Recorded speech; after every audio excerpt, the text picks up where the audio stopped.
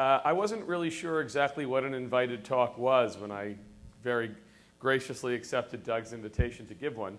And then um, about an hour or two ago, I looked at the, um, the schedule and I realized that I was actually on the docket to present something. And it looked like it was two hours long, so I furiously slammed together two hours worth of slides. And fortunately, I don't actually have to talk to you for two whole hours. I can make it all fit into one or even a little less than that. Um, so I will, in fact, jump around with my slide deck.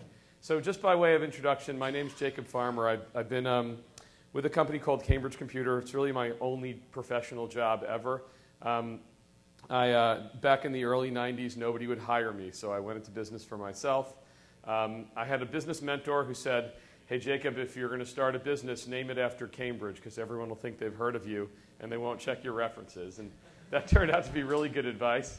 Um, and then the other advice he said was, you know, pick a niche, something that nobody likes to do and that no one wants to be involved in, and then get really good at it. And it, at the time, uh, we were in IT, and we figured, well, hey, how about backup systems and archives? And I bet that problem will, will, will be good, good niche for a couple of years. And then 20 years later, here I am. We're doing the same old stuff. I got involved in Usenix, I think, 13 years ago, 12, 13 years ago. And uh, ever since my first Lisa, I've been coming ever since. Um, what I love about this community is I, I, actually learn a lot from you guys, and then I'm able to kind of to give back. So I become really I'm like a clearinghouse for secondhand information. People share their experiences with me. I in turn share them with others. Um, I, have really lost a lot of my own firsthand technology chops because I'm really now, well, I've become a consultant. In any case, what's cool about my job is that I, I am free to go mingle around the industry. I ask people lots of questions and I digest their answers. I organize them into a framework and then I present them back to people like you, and hopefully you'll find some of my ideas interesting. So the first thing I want to point out is that I find that there are a couple of very simple strategies for growing big in capacity. Um, the one that I most run into is sprawl. That's just where people buy a whole lot of individual storage devices. Sometimes they're just accumulated across uh, an organization. Somebody goes by, buys a Buffalo box, or they store some data on some spare hard drives, and they pile up to the ceiling. Um, then there's this concept of a monolith, which is like a giant storage device that you buy. And my definition of a monolith is just this one giant thing that can meet all of your foreseeable needs. And you buy it because your objective is to consolidate and have only one big thing. Um, because monoliths are big things and there's a tendency for them to get forklifted every couple of years um, and have a huge, uh, huge migration event, uh, there's another concept of what I like to call an aggregate, which is like a virtual monolith you build it up with building blocks, and you can replace any one of those blocks and grow it as big as you like. And then, um, last but not least, is this notion of federating your storage, which is to take all of your, a bunch of different smaller storage devices uh, and make them behave um, as one. And I kind of personally, I believe that um, it's all a matter of what stage of pain you're in as to which direction you look toward. So if you're a small organization, and you've, you've really just got a handful of storage devices and you're, you're not in the petabyte scale, you might be perfectly happy to have a bunch of little things. Then you consolidate and you end up with something big, and then eventually you, you bust out of that thing, and you need to figure out how you're going to manage your data again. So um, I was asked to give a talk at a, a life sciences conference a couple, couple months ago, and I came up with this little slide, which I called my five stages of data proliferation grief. And I was trying to kind of make a little pun on the Kubler-Ross model for coping with grief. You know, that's kind of like where first you, you know, you, you get angry and then you accept it and then you die and something. I don't actually, I never actually read the book. I just, you know, Wikipedia'd it enough to sound like I knew what I was talking about. But in any case, um, stage one is consolidation. That's where, you know, you recognize that your storage is all over the place and maybe your institution just realizes that it's not being a good steward of the data that it holds and it better get it into one place. So um, you'll notice some of these things say things like sequencers and microscopes and whatnot. Again, I, I ripped this off from my life sciences presentation. So then um, you consolidate everything into one NAS, and then you just discover that, you know, hey, this thing isn't really big enough. It can't do big enough file systems. Um, everybody's busting out of it. So you buy your scale out NAS. And scale out is a term that the vendors seem to like um, to describe um, growing bigger and bigger and bigger uh, limitlessly. Um, and they, they lead you to believe that you can, in fact, build, um, build out limitlessly. Um, then what happens is kind of the backup futility. Like you realize, oh my goodness, there's just no way to back up all this data in any meaningful amount of time. And then from that, you deduce that if you ever had to restore it, you wouldn't be able to restore it in any meaningful amount of time. Um, the next stage in all of that is sort of the budget anxiety. You realize that you bought this really big, expensive thing, and um, uh, it's going to get refreshed in a couple years. And now I'm maybe looking at doubling it because um, I, have got, I can't back it up, so I got to replicate it. Um, and then the, the last stage is kind of when you've just got so much storage, you can't find anything anymore. You realize that you know, if you have, a, if you have a, a, a petabyte of data and you know, I don't know, an average file size of a couple of megabytes, or even if a file size of a gigabyte, it's not unlikely that you have a few hundred million files or maybe a billion files. And if you think about what it, what it looks like, what a directory path could look like when you have that, you know, just a namespace, it's a lot, a lot, a lot, a lot of files. And by the way, if you have a billion files today, presumably you will have two billion files sometime in the future, and then four and eight and 16 and 32 and all that other stuff. So the, the problem I think that we're all living in is as our different disciplines become more data intensive and as new file formats consume more storage, we're actually a snowball rolling down the hill. Like the rate of accumulation does seem to pick up. And um, if you just imagine out a few years, you know, we're, we're all going to have a lot more data than we have now. Quick show of hands, how many of you guys already have your first petabyte? Anybody out there? Excellent. And of those who didn't raise your hands, do you think you'll have a petabyte in the next five years? How many of you? So, yeah, so, I mean, I think a petabyte just, like I used to go, oh my goodness, you have a petabyte? So cool. And now it's like, eh, whatever, you got a petabyte. Congratulations. Um, so you're going to have lots of petabytes. And I, I think the problem, though, is that we're just reaching a disproportionately large scale where it's problematic. So some of the problems of having a petabyte, I hinted at a couple of these, but one is just the, the size of an individual file system. I visited a client um, two years ago that's a big digital content repository, and um, when they first started out their, their, their uh, software application, uh, they were targeting having like 20, 30, maybe 40 terabytes of digital images. And they had um, selected a NAS that had a maximum file system of 10 terabytes. And then when they reached the 2 petabyte mark, you know, there were 200 of those file systems that made up uh, their storage system. And then they replicated each one of those, and then they were looking at three way replication of each of those. And because they had so many of these file systems and they kind of came on sequentially, they were always refreshing one of them. basically, every week there was a file system to migrate into a new file system. And then, of course, as they added the second and third data centers, that became an incredibly complex task to manage. And as you also might imagine, um, every once in a while they would make a boo boo because they're doing so much stuff. And they actually managed to lose some data in the course of it that turned out not to be replaceable. And that created a whole big firestorm of pain. So basically, file systems need to get bigger. Um, backup and restore, I just mentioned what a problem that is. Um, fault tolerance, you know that, that old adage, the bigger they are, the harder they fall. Well, it just turns out that if you have a couple thousand hard drives, the probability of having one or two or three break is much greater than when you only have 10 hard drives. And if you have really big hard drives, well, there's issues like that, you know, they're, they're no more reliable. A three terabyte hard drive is not any more reliable than a one terabyte drive. So the relative probability of losing data seems to go up as the drives get bigger. You get higher bit error rates, there's more data in one place to be broken when it breaks. So in general, things become, the, the engineering term is brittle. As they get bigger and bigger, they become more and more brittle. One little flick and potentially the whole thing can come down. Um, or if you do have a disaster or a minor disaster, like a data corruption in the wrong place, in a petabyte, that data corruption could spread far and wide, and, and discovering the corruption and remedying it might be a huge task. Um, disaster recovery, this is a funny problem. You know, we're all, we're, most of us are used to replicating a SAN or a NAS or a storage device to our DR location. And normally we don't have disasters, so we don't really worry about it. But if we did, we would presumably replicate back. Or we would maybe do some other way of, you know, we maybe ship a box out there, replicate and move it back. But let's just say I've replicated my petabyte from New York to Los Angeles, and I come in to work tomorrow morning and there's this smoldering pile of metal where once my petabyte sat. You know, what do I do? Like, do I drive to LA and throw this thing in the back of my minivan and drive back across the country? You know, no, that's not going to be practical. I'm probably, if I could buy a brand new petabyte and have it rush shipped to me, how am I going to replicate that petabyte over, the, over my WAN link anytime soon? Um, I'm probably going to have to ship a new petabyte out to Los Angeles, mirror it there, which is going to take a couple of weeks, box it up and ship it, and then resync it. We're still talking about an enormous amount of work. So again, you ask yourself, how do I have high availability or uptime or DR at petabyte scale? It's really quite tricky. Um, hardware refreshes, um, you know, really funny situation. Ha ha. I had a client who bought a petabyte for their research institution, and by the time they kind of got it bought and plugged in and running and announced to everybody that the petabyte was there, they were already halfway into the life cycle of the product and there was no capacity on it. And then a couple months, you know, by the time they reached the three year mark, there was about 200 terabytes of it, and now they're getting ready to refresh the box. Now, as good luck have it, they didn't really have the money to refresh it, so they kind of returned everybody's data to them, and that was that. That was the good luck.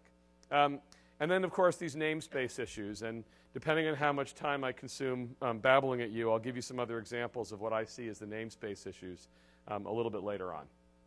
So I always like to ask this question, you know, bigger hard drives, friend or foe? You know, hard drives keep getting bigger. We now have three terabyte drives. I'm sure we'll have fours or eights or 12s or 20s someday. And as the drives get bigger and bigger, they don't become more reliable. Um, they actually seem to become less reliable. And it just seems to me, I haven't done any math on it, but it just seems in general that two terabyte and three terabyte storage systems aren't working as well as they did when we had one terabytes and smaller. Um, we, we also know that RAID rebuilds are a problem as the drives get bigger and bigger. Like I found in my own practice, you know, a good rule of thumb is a, a day and a half to rebuild a terabyte of RAID 5. Um, so that just means that a three terabyte drive should take four and a half days, and it's probably only going to get worse from there. Um, this is a little picture of just like a common enterprise RAID array um, for, for massive scale, where you might have 60, 48, 84, some enormous number of hard drives in a 4U cabinet, and you might have multiple 4U cabinets uh, in a rack, and then you stripe your data across the cabinet, um, this is how most organizations that have petabyte sized data, this is typically how they build a giant, huge storage system for it. So, and, and, and I can't say anything bad about these things. I got lots of clients using them. The problem is, is that any one of these shelves is a pretty big fruit to lose. You know, the idea of I, I, I like to RAID stripe across the shelf. That way, if I lose a shelf, I haven't lost my data. But I got a really big rebuild ahead of me if I do. So if you take 84 drives and you multiply that by 3 terabytes, and I can't really do that math, and at least I try not to do math in public if I can help it, but I think that's around 250 terabytes. And that's a quarter of a petabyte in a, in a, in a single thing that could break. Um, and you try to imagine how long it would take to restripe that into a RAID array. You know, we're really talking about, about weeks, if not months. Um, this is a slide I made. It was inspired by one of, uh, one of my clients who um, had he had a, a, storage system he was really worried about because it had roughly two and a half billion small files in it. And he knew he couldn't back up and restore that in any meaningful amount of time.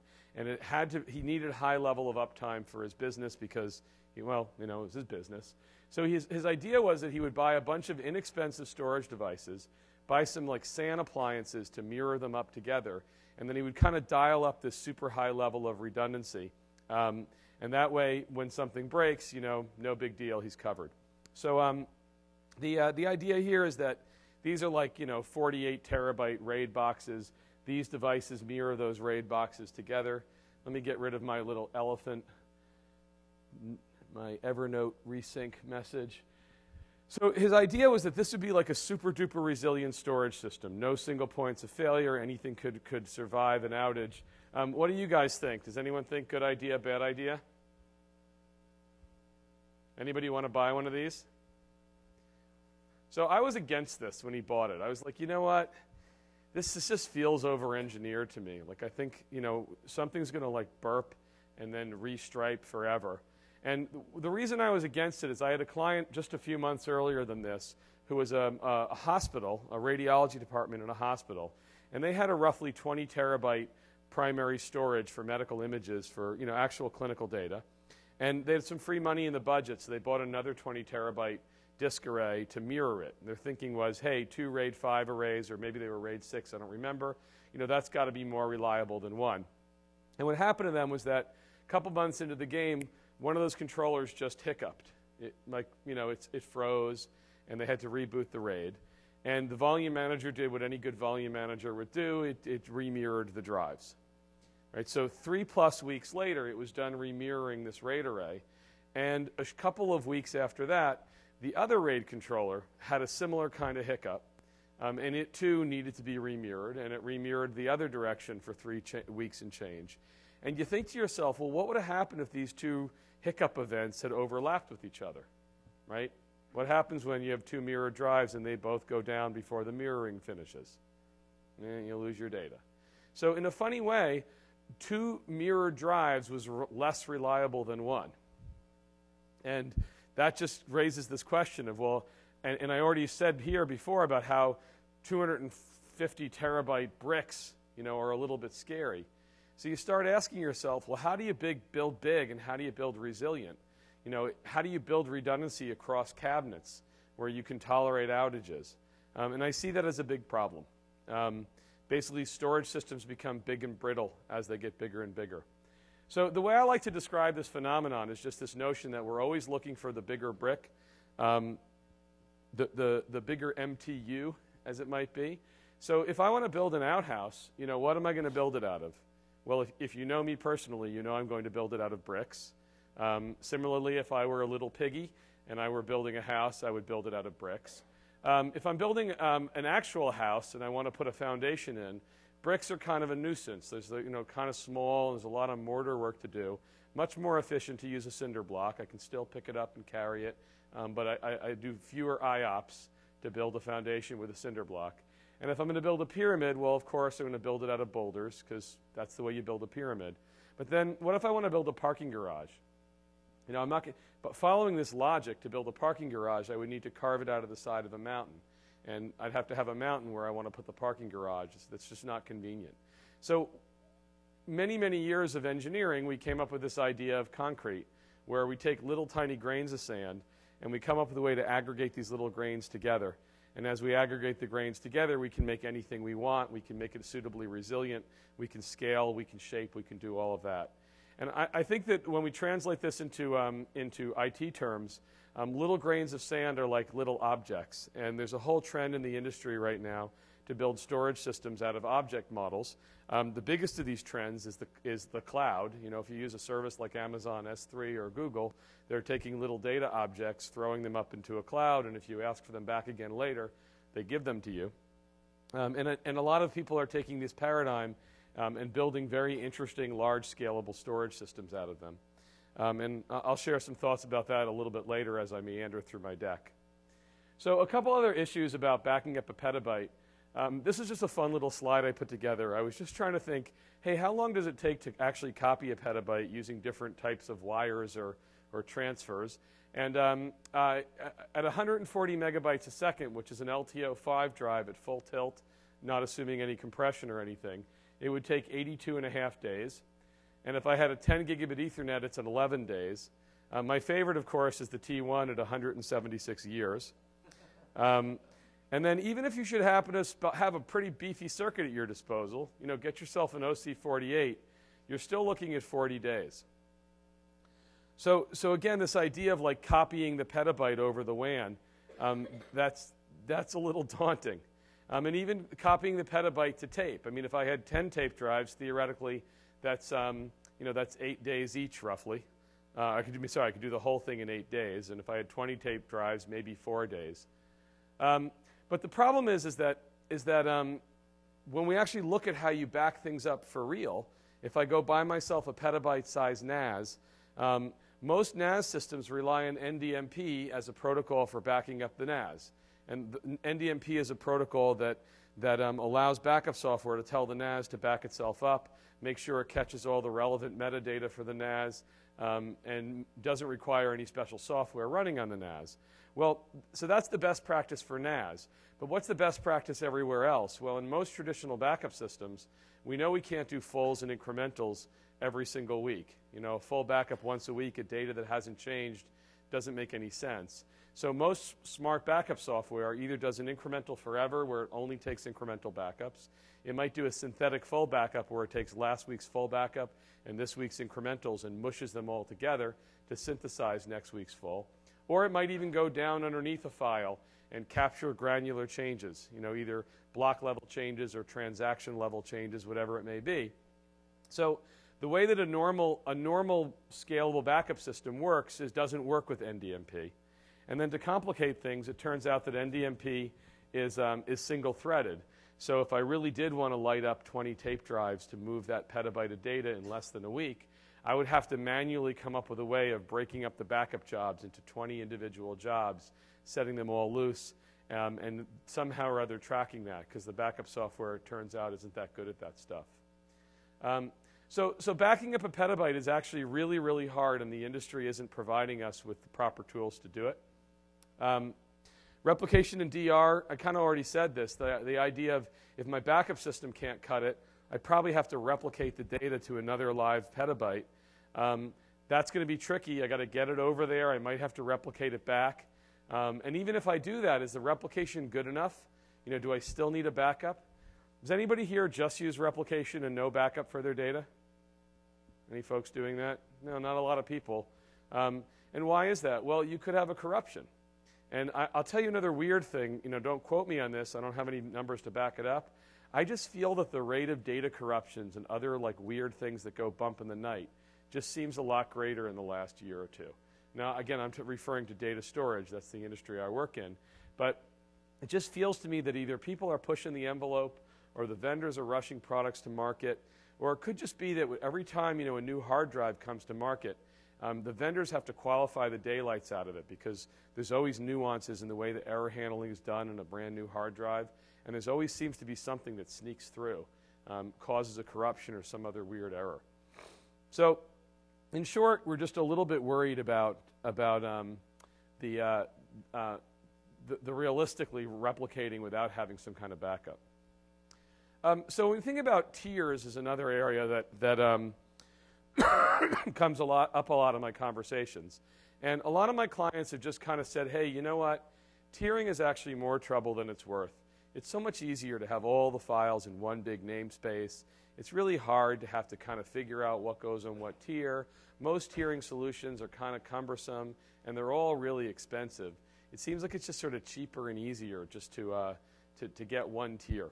Um, and I think that's probably true. Um, to a large degree. The problem is that pressure on tiering is being stretched in two directions. When I say pressure, that when I say, nah, I don't want to bother tiering, well, but then there are all these really cool solid state storage devices that keep hitting the market with just insane performance numbers and cheaper and cheaper costs every other day. And then at the far end of the spectrum, uh, tape seems to be having a rebirth as an archival media. That is, the, the vendors in the tape industry kind of figured out that they're their marketplace is eroding really quickly, and they better come up with either software or solutions um, that are relevant and priced appropriately. So we've seen in the last few years kind of a big scramble to, to actually make tape great um, as a, uh, as a low cost, low power, you know, cheap and deep place for data to reside long term. So I made this little slide up in, for my solid state storage lecture that I gave yesterday. And I thought I would cut and paste it in for today. We were trying to illustrate just how fast um, solid state can be relative to, um, to spinning disk. Um, and we did it using um, a nanosecond of latency as roughly a pound of weight. Now, if you go and double check my math, you will find that we took a little poetic license here, but it still does the trick. So we're basically saying, hey, if CPU is like a can of Coke, a level 2 cache is like a bowling ball, uh, RAM is like a dog, a nice big burly dog, and spinning disk is like an Eiffel Tower. And as you know, these aren't drawn to proportion, right? That would be one hell of a big dog. You know, it's roughly third of the way up the tower. You know, the dog would really be, you know, down here somewhere. So that space between the dog and the tip of the Eiffel Tower, uh, that's the solid state storage marketplace. Like you can have a RAM based solid state storage device that could de- deliver over you know, a million and a half IOs per second, you know, or you could have a spinning hard drive that does 200 IOs per second. Big difference between 200 and a million and a half. I think that's 750, you know, 75,000. I don't know. Don't do math out loud, as my grandma used to say. Um, and then on the tape end, this is a slide I, I grabbed from, a, from a, a, system I did for uh, Yale University last year. Um, we put in this just ginormous campus tape archive where we put a tape library in, in each of two campuses, lit it up, um, and replicated between the two. And we were able to hit a, a cost per, per terabyte, you know, somewhere on the order of 100 bucks per terabyte per year. maybe a little bit more than that, for a redundant terabyte that was you know, off-site and on different pieces of media, et cetera. And that's just a really good number compared to an enterprise scale-out NAS. So I got these, you know, the point is I think no matter whenever I pick whatever it is that I can live with forever, it turns out tomorrow something new comes out, and I want that too. So I want something faster, I want something cheaper. The, the, the, more I want one of those two things, the less likely I am to be happy inside that one single uh, solution. Um, I, I, love these two terms. We've been using them a lot, worse and worn.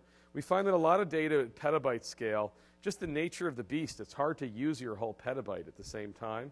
So worse and worn, worse is write once, read seldom, if ever, and worn is write once, read never. A lot of data sets seem to fit that, that, um, that pa pattern, especially if you're talking about research data. A lot of times you save your raw data uh, just in case you need it again later. Maybe you save some intermediary results that aren't that relevant. Maybe you're planning to publish your research um, sometime in the next few years, and you got to keep everything related to it. Um, and maybe you're not sure what you're going to need for your research, so you better keep everything. So, but when you have data that just sits there, we call that fixed content. It's just sitting there on your disk. And there does come a point, I think in particular, when you reach the petabyte scale, where the amount of money and time and resources that go into having that stuff sit there um, starts being somewhat significant. Um, anyway, so that's, um, that's fixed content. Um, you know, the next best strategy um, uh, in, in, a lifecycle management system is to have a, a, single NAS that has multiple tiers in it. And if you walked the vendor expo today, there were several vendors marketing that. But again, we still come up with this problem of is their top tier fast enough and is their bottom tier cheap enough um, to be compelling? And, and I find in general the answer is no.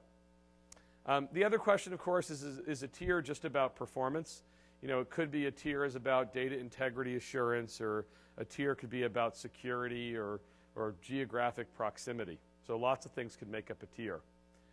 Um, anyway, those are some ideas on tiering. Let me fast forward a bit. Um, and let me introduce just the idea of federating storage, which to me is where we'd really like to be. The problem is, is that the marketplace for federated storage solutions doesn't really quite exist, or it exists in kind of crude forms. So the idea of a federated file system is I, I take a bunch of ordinary everyday fi file servers and I magically make them behave as one logical file server, ideally with a single namespace that makes it easy for my users to find things. And then if that were the case, these things could be, you know, I could have an expensive one and a cheap one and a fast one and a slow one, and I could have whatever I want, presumably, and some magical logic that would place my files on the appropriate file server, and everything would be great. Um, I like to point out that anytime we virtualize anything or abstract anything, we have the choice of putting the abstraction logic in the data path or outside of the data path. And whenever we do in-band anything with large file systems, we run the risk of slowing things down, basically adding latency. Um, and um, we also, of course, have the problem that if the in-band thing breaks, that probably means we don't have access to the data anymore. Um, and then if we can do it out of band, we have the problem of what happens if the user goes directly to the storage and starts messing with things. Um, then um, potentially they would, they would break whatever virtual namespace we were trying to build. So that's just a problem that has to be solved. For now, take it for granted in band or out of band. Um, an example of an out of band would be like I have some namespace um, that I'm, I'm, accessing from the side, and then I'm reading and writing directly to my, to my servers. Um, and in band is I would be talking to the magical layer, and the magical layer would, would be reconciling down with the underlying file servers. Another interesting point I'd like to make when I talk about tiers is that tiers and caching are kind of the same idea. They're just sort of at a different scale and time. So you could kind of think of like tiering as caching in slow motion, where the data actually is going to sit and reside for a little while um, before we reprioritize. You could also think of it as a cache. Um, uh, you could also think of caching as tiering on steroids. You know, where uh, uh, the, the, change rate at which tier something belongs on is, is, is moving very, very, very quickly.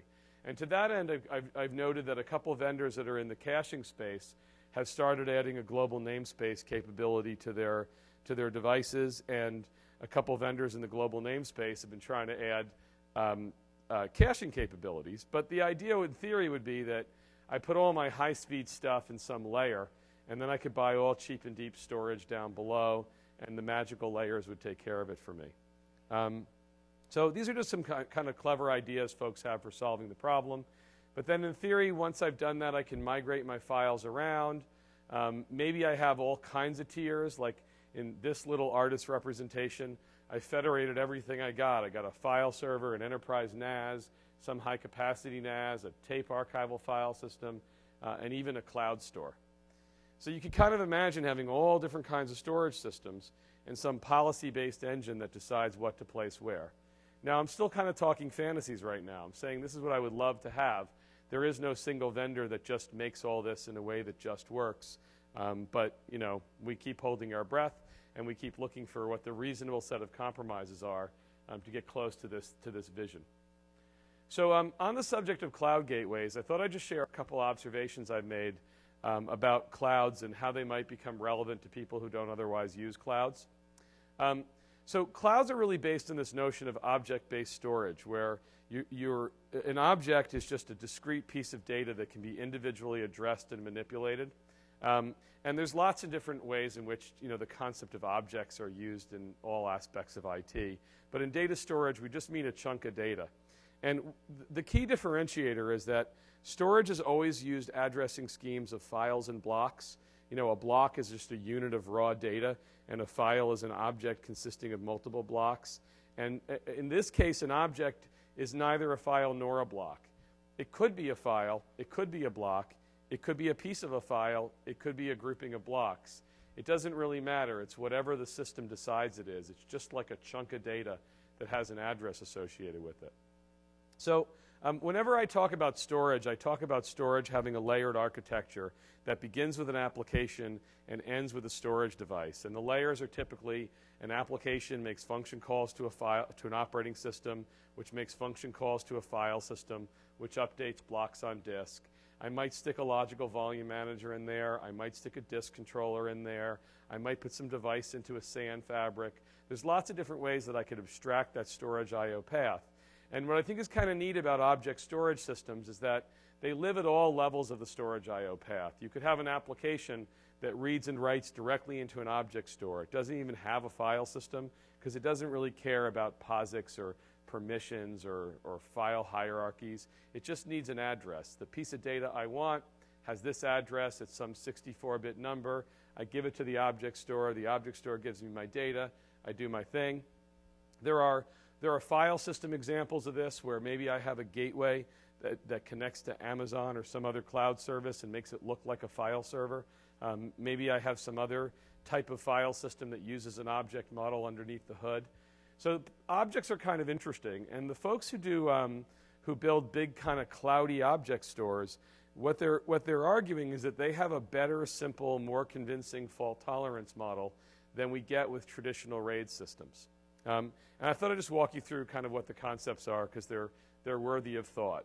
So the idea is if I zoom in on one of the hard drives in my object store, so these are just I don't know, Supermicro chassis or something off the shelf. They could be, they're just boxes with disks in them.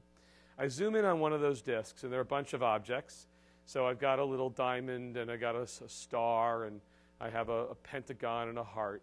Those are my objects. And you'll notice that each one of those objects is stored redundantly. It's on the hard drive in question, but it also has a redundant pair on a different hard drive somewhere else. And as you might imagine, if something bad were to happen to that hard drive, word goes out to the other little objects that you're no longer conforming to the redundancy model. You have to propagate yourself to another object, to another drive somewhere, and they go ahead and do that, and now I'm back to resiliency. So this isn't rocket science. I'm sure plenty of you are bored, but the observation is really simple that I'm applying data protection logic to the data. I mean, I'm applying it to an object rather than to a storage device. So this kind of gets me around that problem of how the storage devices keep getting bigger and bigger and bigger, and the RAID arrays keep getting more and more brittle. They have more failures, and it takes them longer to recover from the failures. And while they're recovering, they're vulnerable to even more failures. Um, this is very different. This basically says, hey, you know what? I got a petabyte full of storage. I've got, uh, I got a 200 hard drives, more than that, I guess, 300 hard drives, 350. And if one of them breaks, I can parallelize the process of rebuilding the data.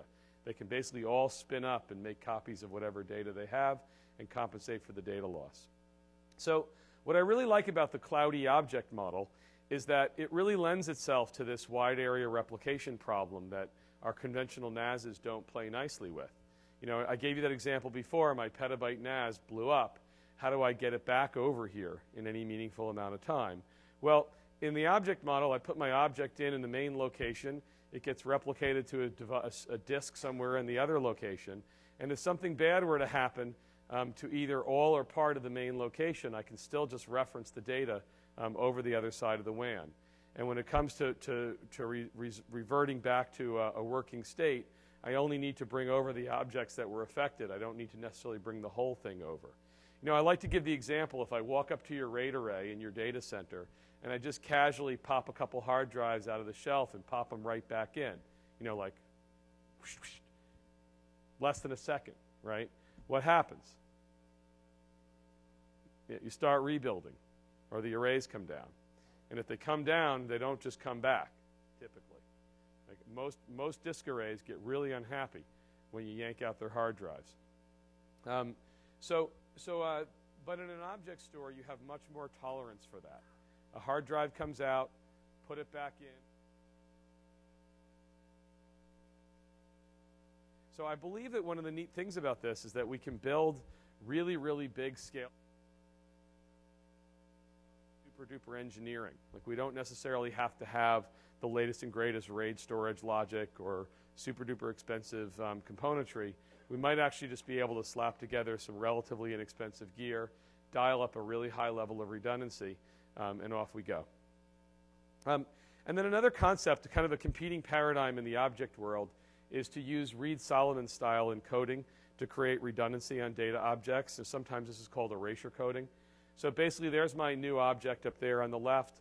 I, I, I put it into my, my uh, data protection algorithm. It chops it up into n number of segments. In this case, I picked nine. It adds an x number of parity segments. In this case, I picked three. And then basically, as long as nine of these 12 data segments survive, um, I get my data back. Right? So that means that if I go you know, up to this shelf of disks, I take out my gun, bang, bang, bang, I shoot out three drives, any three drives. Look, I still have my object. If I walk up to this shelf and I just go, eh, and I pull the power plug and it comes down, um, I still get my object. So when you apply this to a really, really large amount of drives and a really, really large amount of data, and if you dial up, you know, I picked, I picked 9.3, but if you dial that number up, use a lot more elements and for, for data and a lot more elements for parity, the actual probability of you losing data just goes, you know, very, very, very, very low. Um, and uh, I, I, have a client who's a very early adopter of a commercial version of this technology. And he had, um, he's got, I think he's going up for 40 petabytes of it. But he was joking the other day. He said, I had three drives just crash on a Friday afternoon. And I was like, oh, this is annoying. I guess I'll deal with this on Monday when I get back. Because by his math, he would, he would have to lose specific six drives for his data to be, to, to be compromised. And out of the couple thousand drives he has, pro the probability of that's pretty much non existent. So the only, uh, uh, but incidentally, there's, uh, there's another group of folks that are trying to use this technology to disperse data across a WAN, where the idea would be that as long as you know three of my four data centers are still standing, I've got a complete collection of data, you know, using a minimal amount of hardware. So the only bummer is, is that these object cloudy things, you know, they're, they're not the way users use storage. You know, users read and write to hierarchical file systems, you know, with, with uh, POSIX and permissions and all that other stuff. So there is kind of a cottage industry or a bunch of different applications that bridge the, the gap between the two, usually with some kind of gateway device of some sort. Um, and what we're kind of waiting for is for these gateway devices to get smarter and smarter and smarter um, and to make it easier to, um, to, to both live in the world of files and objects at the same time. So I'm kind of down to my 10 minute warning. So I thought what I would do is maybe, oh, never mind, I'm right here. Wow, I'm right on time. I just made this presentation as I was walking in the door, and my timing is perfect. I wanted to talk about namespace issues. When you have, you know, a, a couple billion files, you know, how do you find them? Um, so I see this kind of stuff a lot when we look at big file systems. Um, I have a client here locally in Massachusetts that we're, we're doing, um, so a little side note is that I, I've been spending a lot of my own personal time and an awful lot of my company's financial resources um, tinkering out around with software ideas for really reining in petabytes of storage. So we, we built a prototype of an application, and if you're really curious, um, we're going to do a BOF this evening around 8 o'clock and just sort of talk through some of these ideas in more detail and maybe show you some screens from our software. Um, but we basically built um, a tool that would help our clients kind of analyze their existing file systems and profile their users and get an idea of how different people are storing data and what they're doing. And we ran this, um, this uh, software for this client, and we saw a lot of stuff like this. You know, we saw people looking for a way to put descriptive information into the directory tree, or not. So you'd see a directory named stuff. what the heck does that mean? You know, or it'd stuff do not delete. But then we'd also see things like whole sentences, you know, worked into a, a UNC path you know, raw results from experiment number three, run 23, March 10th. We'd see stuff like that. Um, the funniest thing we saw, incidentally, was um, we found that 6% of the files in our test set had the, the word junk in the file name. Um, and we didn't look for things like crap or turd or anything else like that. We just looked for junk, and we found 6%. So um, uh, we also found a lot, a lot, a lot, a lot, a lot of iPod collections, you know, our iTunes. Um, so people put all kinds of stuff, and it's, it's basically buried in the mountain of data. Um, uh, uh, no one ever sees it. So we thought we could kind of root that stuff out by, by inventorying all the files, looking for patterns, asking questions of the users, and other things like that. Um, I talked a little bit about the, just the, the mechanical problem of backing up and restoring a petabyte. But it's, it's really more than that. You know, a lot of my clients, especially the science ones, say we don't need to re- back up and restore the petabyte. We just regenerate the data if we ever had to. And that's true in many cases. But when you're talking a petabyte or two petabytes or three petabytes, it would still be a drag to lose all that data. Like it's still a lot of data to lose. But what about the really important stuff? You know, in, in many cases, it isn't practical to, to, to recover um, everything. So, it, backup speak, the industry uses these terms RPO and RTO. And RPO is a recovery point objective. It's a fancy way of saying how much data are you willing to lose if something breaks. And an RTO is a recovery time objection, objective. It's a fancy way of saying how long are you willing to wait until you get your data back. And, um, and that's the basis of backup policies. Um, then there's, of course, retention periods. How long do you keep something or how many versions and all of that. Well, how do you build a policy across a whole petabyte? Is there one policy that meets all of your data's needs? You know, we heard from a bunch of people at the conference this week that, well, no, you know, some of our data is pretty precious, but then there's a lot of scratch files and intermediary files and other stuff like that. But conveying all that to your backup software would be really, really, really hard. So here again, like we just, we'd like to know more. We need more descriptive information about the files to build good storage management policies. Um, file migration, you know, people migrate files for different reasons. One is just as they age, they have different value or different meaning, so you move them around. Um, sometimes it's for backup and recovery. Sometimes you're trying to put things in and out of a cloud. Sometimes, you know, you're migrating because you're refreshing a storage device. But it would really help when you're trying to migrate files is to understand what you're migrating and why you're migrating them. Um, another huge problem that we run into is that when we do try to migrate files for whatever reason, um, we tend to break applications. So many applications reference files by UNC path. You might have a DAM system, digital asset management, a laboratory information management system. You may have a PAC system, that's a medical imaging system. Um, you might have electronic notebooks. You might just have spreadsheets that reference files. So, what happens when you pick all those things up and you move the files? You break those links and you may not be able to reconcile them again later. Um, so these are kind of problems that we worry about and we're trying to invent solutions for. Um, just basic inventory and reporting, you know, capacity planning, who's using what, what's the change rate, what's the growth rate, um, trend analysis, that's nice to know. Um, duplicate file detection. So I mentioned this client we did this study for. We found roughly 7% of the file set was duplicately stored. Now, we didn't go study exactly what level of duplication. We just know that 7% of the files had an identical matching one somewhere on the file system. That's still a lot of waste. Um, and then, kind of last but not least, is chargeback.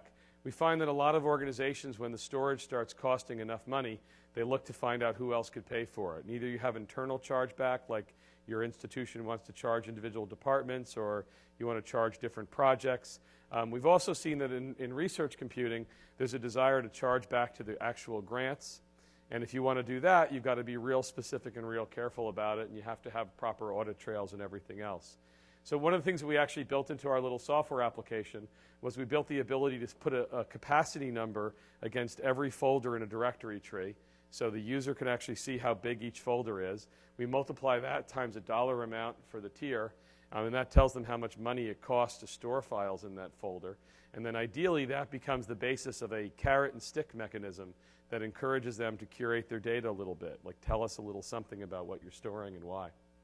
Um, so uh, then, of course, when you have a petabyte of data, you could just say, eh, you know what, I'm just going to keep on adding more and more storage. I'm not going to worry about cleaning it up. But really, there is a point where you probably have to throw some data away. If nothing else, all the junky old data um, confuses the value of the data that you really care about. But of course, you don't want to delete data unless you have a better understanding of what it is.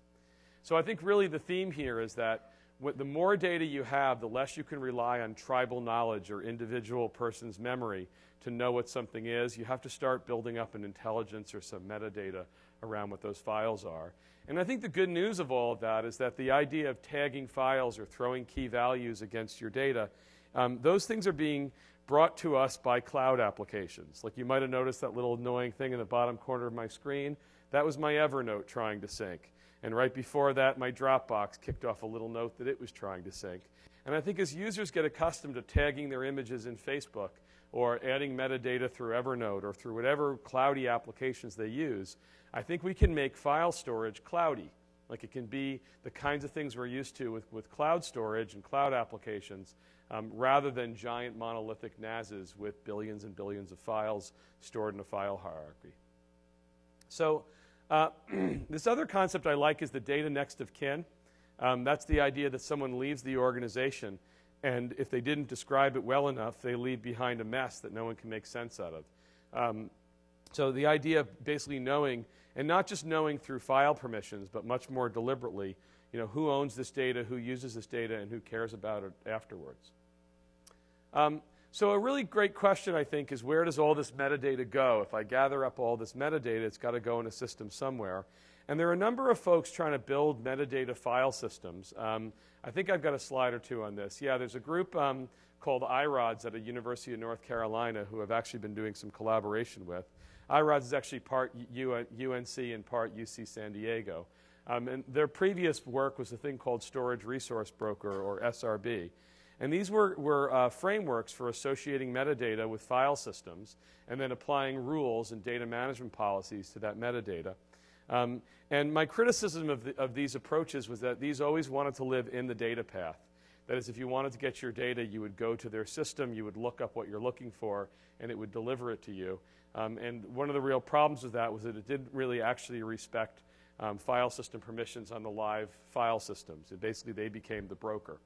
So we've been playing with these same ideas, but with the idea um, that our system could live entirely out of band, out of the data path where it doesn't break anything.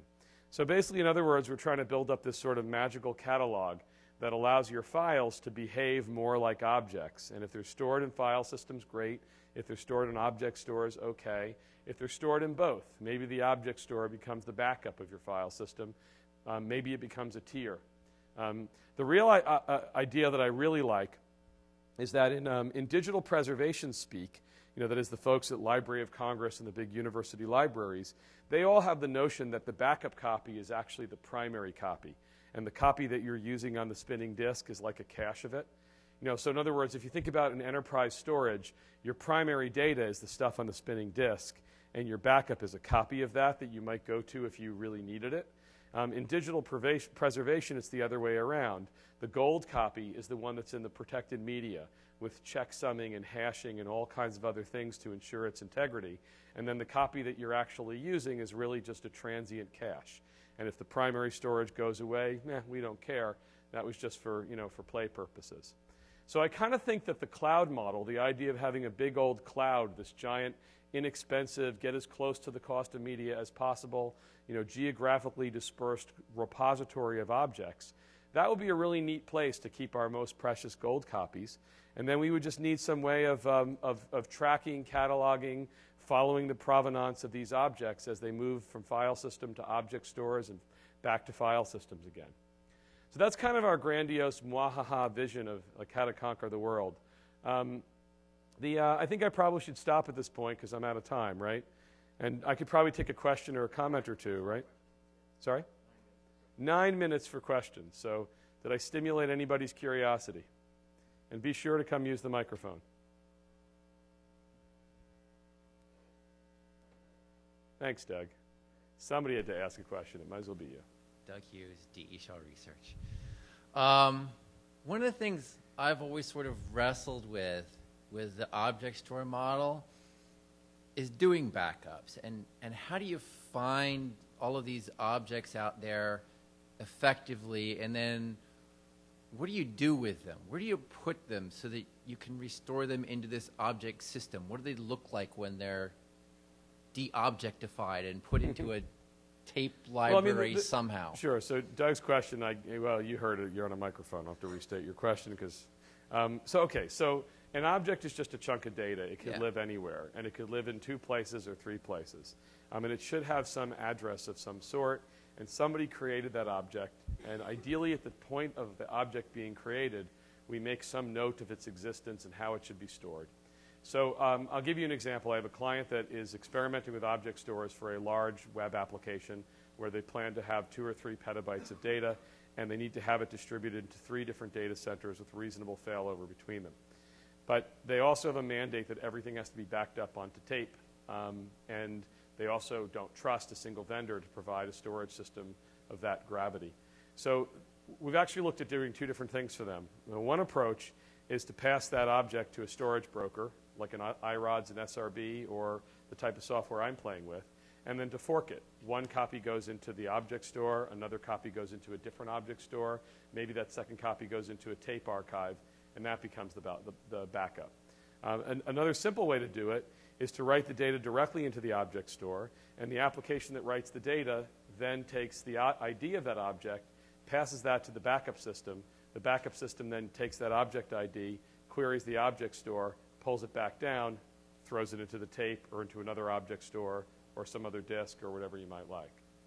But I think so for the purposes of backup, I think fundamentally an object is just a discrete unit of data, and one of its properties should be where it lives. And if it lives in multiple places, even better, that becomes two properties. It lives here and it lives here.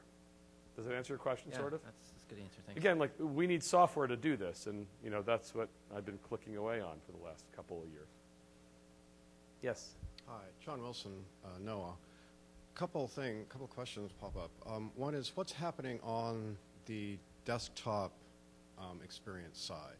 Um, OS X, it kind of knows what your file types are, so it can do something there.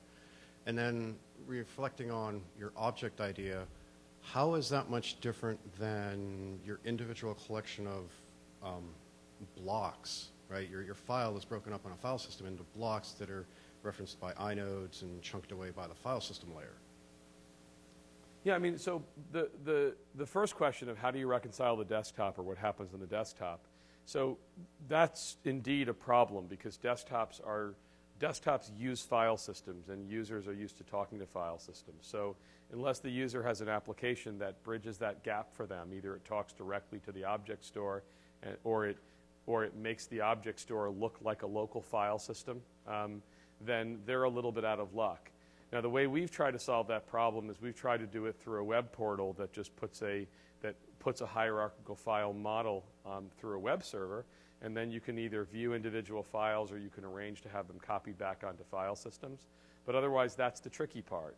And that's also the distinction between in band and out of band is that if you're going to live in the, in the data path, you could have some client agent. It could be as crude as a fuse driver or something, but you'd, you'd have to be in the data path presenting them with files or not. For now, I personally believe being out of data paths is better. It's compromised. It's not exactly what your user wants to see, um, uh, but, but it's, it's probably a better approach. Um, I'm sorry, and the second half of your question was again? Well, you've got your you've got your files as they are today. Your all your file systems break up your file into Oh, chunks sure. that are stored around. So are yeah, no, so I think an object is, a block could be an object and a file could be an object. And there are many file systems, no, I shouldn't say many, there are several that replace blocks with, with objects where they might use the hash of the block as its address. And there's a whole, tra- I mean, I think all the new storage technologies coming out in the next few years will be based on that kind of concept. Now, is that any different than a traditional block and file architecture? Not really. The difference is in the addressing scheme. So blocks are generally sequentially numbered. Um, you know, storage device zero, block number one, two, three, four, five. Next comes block number one, two, three, four, five, six. But in an object, the, the address of the object could be in the eye of the beholder. It's whatever the, whoever designs the system it is. So it could be that you take an object, you hash it, you get back your SHA-256, and you fling that at the object store, and it returns to you the block that, you know, is part of your file, Okay, right? sure. So, so I believe that, and I believe that there, there are many file systems on the market that are based on a lot of these principles. They don't always advertise them that way. But the point I think that we're finding is, is that um, when you just build against very, very large sequential addresses, you have a lot of housekeeping to do to manage all of that. I mean, another good example are file systems like Lustre or, or where you know, the idea there is the premise behind Lustre is that, hey, a traditional file system has two major jobs. It has to present um, a POSIX interface to me as the end user, and it has to actually provision extensive disk and actually do the disk I.O. part. Well, those are such different tasks that why not just split them into two different tasks, one that runs on this machine and one that runs on that machine. Um, and that's actually allowed Lustre to grow to tremendous scale. Um, now, Lustre doesn't use these pr- the principles I described for, for fault tolerance and self-healing. They would, could, should. And I think if the Lustre mo- movement had gotten more momentum or if it found its way into enterprise computing, I think you'd see third-party vendors building object stores for, for Lustre that have different properties that are more, you know, more akin to what I showed on the board. Excellent, thank you. Thank you. Yep. Anything else? Well, thanks for having me.